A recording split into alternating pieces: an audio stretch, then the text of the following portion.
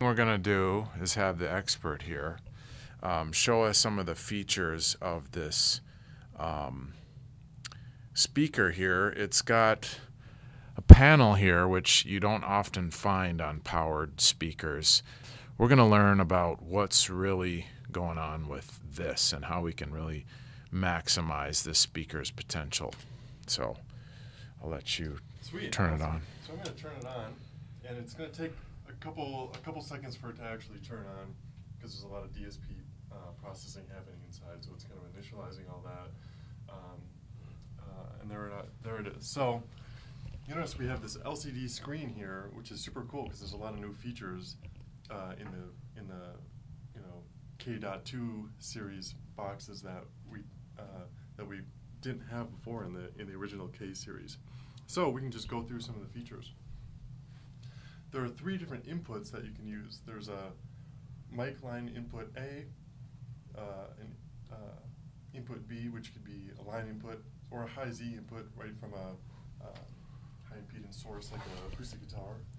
Um, and there's also a stereo mini jack uh, input as well. And they all have separate gain volume knobs, which is super cool because now you bring this into a coffee shop, you don't even need a mixer. You can just plug microphone right into input A, uh, your guitar or keyboard into input B, and you can play some background tracks out of your phone or computer right in uh, input C. So cool, super cool and, and flexible. If we look at the LCD screen here, there's um, uh, a little uh, scroll scroll knob that we can use here on the right side to scroll in between. So if we're looking at A, uh, we can press the bottom button here, and we can change that from line level or a mic level.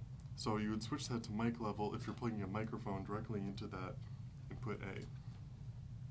If we go over to input B, we can change that from a high Z source like an acoustic guitar um, or line level. If we're coming from a mixer, uh, we generally always want to stay at line level. So if we go down, there's different presets.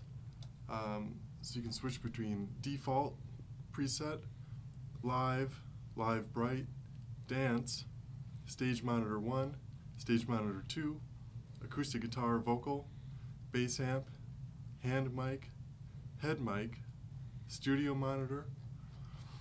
Um, my personal two favorites are the default and the live bright, whether it's in a monitor uh, position on the floor or on a, on a pole as a front of house speaker.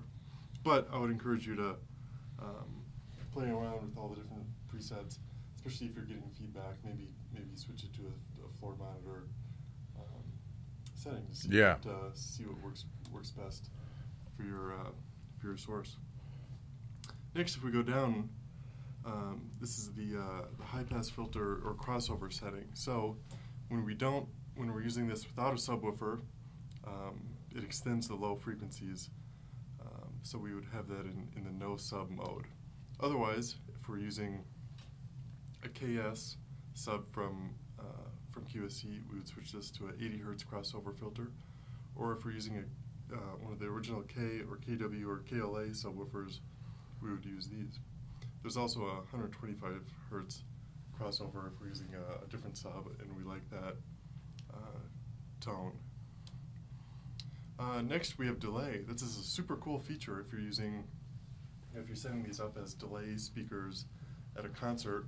Now, instead of needing a separate outboard processor that is just dedicated for the delay of these um, uh, delay fills or balcony speakers or under balcony speakers, fill speakers, now we have a dedicated um, delay built in. So the, um, the delay um, is in feet, meters, or milliseconds. So, Ah. we can, uh, so we can add delay if we want to time align certain speakers.